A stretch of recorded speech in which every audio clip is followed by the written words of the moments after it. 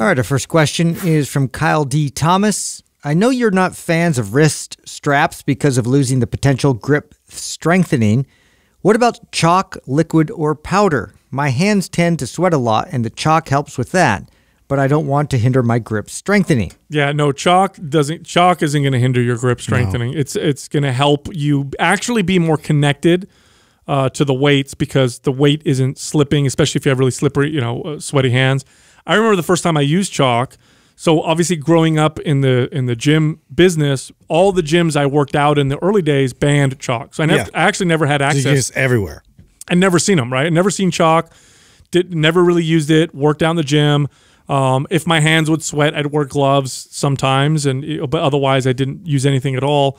And then I went to a hardcore gym and saw that they actually had community chalk on the workout floor, and it mm-hmm. was chalk on the floor. I loved it. I was like, "Oh, this is cool. Let me try this. I've never used this before." Used it on my hands, and I had a much better workout. Now it wasn't, and I use chalk by the way if I'm pressing even.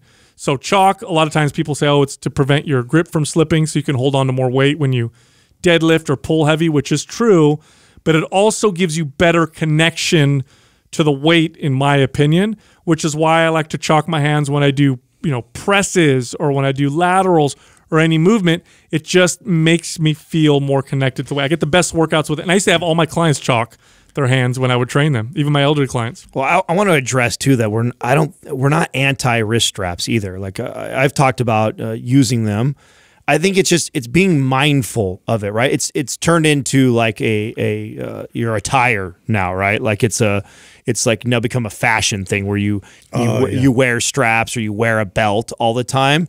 Like that's what I think uh, all of us would agree that we're we're anti, right? I think uh, wearing a belt, doing all kinds of you know machine exercises and cable exercises is ridiculous. Or wearing it all the time, even on squatting, like you should you should definitely train yourself to be able to squat and deadlift without a belt too. In fact, you should be able to do that eighty to ninety percent of the time without a belt. It doesn't mean that there isn't a place for you to utilize some of these tools. These tools have value, and there's a lot of different examples where you can use them. It's just more about being mindful of not becoming dependent on it. Because in real life, you're never going to be walking around with your your belt strapped around you or wrist straps strapped around you and that's the point is to be strong in real life not just when you go to the gym and it's for safety reasons to protect yourself if you can deadlift and you've never deadlifted before without a belt or wrist straps and then you think you can lift you know 400 pounds because you do it in the gym all the time with wrist straps and then you hurt yourself with 200 pounds because you can't hold on to the grip uh, of whatever it is that you're picking up because you you totally misjudged it because you've never trained without it. Like so for me it's like 80% of the time you're I'm not using tools like this, but 20% of the time to insert it into my training every once in a while, I don't have a problem with either one of those. Yeah, I didn't get exposed to chalk till I was in college and training. Uh, you know, with the strength coaches, and I saw chalk there, and um, I used to use actually wrist straps a lot when I used to uh, power clean because that was you know something that I saw everybody do, and I thought that was just kind of a part of it uh, in order to uh, you know keep keep a nice tight grip.